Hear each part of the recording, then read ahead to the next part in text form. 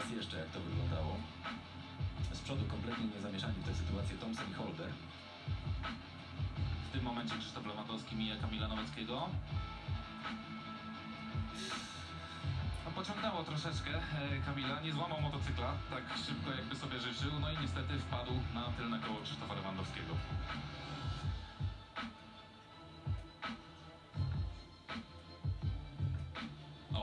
Momencie. Tak, tak, tak. Tutaj trudno się doszukiwać jakiejkolwiek winy Krzysztofa Lewandowskiego.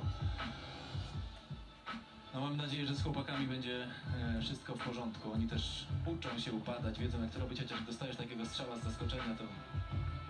No oby instynkt zadziałał.